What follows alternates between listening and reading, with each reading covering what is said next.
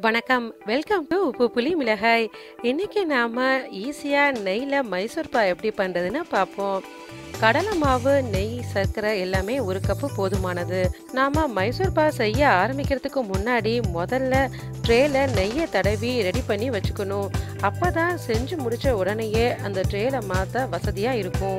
முதல்ல கடலை மாவை நல்லா வாசனை வரும் வரை வறுத்துட்டு சலிச்சுக்கோங்க வறுத்த மாவோட ஒரு கப் நெய்யில அரை கப் நெய்யை மட்டும் சேர்த்து கட்டி இல்லாம கரைச்சுக்கோங்க. ஒரு கப்பு சர்க்கரைக்கு கால் கப்பு தண்ணி சேர்த்து ஒரு கம்பி பதம் பாகு வச்சுட்டு உடனேயே கடலை மாவு நெய் கலவை சேர்த்து கைவிடாம கிளறிக்கிட்டே இருங்க. ஒரு கப்பு நெய்யில நாம ஏற்கனவே அரை கப்பை எடுத்து கடலை மாவோட சேர்த்துட்டோம்.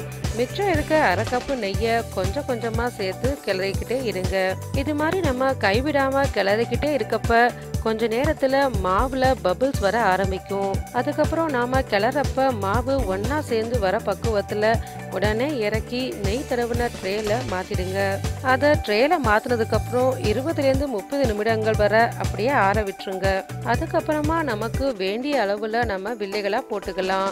ஸ்லைஸ் பண்ணுறப்ப கத்தியில் கொஞ்சம் நெய் தடவிட்டு ஸ்லைஸ் பண்ணால் ரொம்ப ஈஸியாக கட் பண்ண வரும்.